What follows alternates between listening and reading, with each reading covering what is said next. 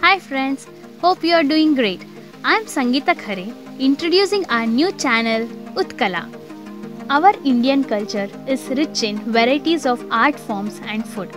Nowadays, in our modern life, we are forgetting traditional tastes. Hence, we are trying to present different varieties of arts, crafts, music, dance, including Indian traditional cooking recipes and many more. Your support is very important to us, so please stay tuned with us. Thank you.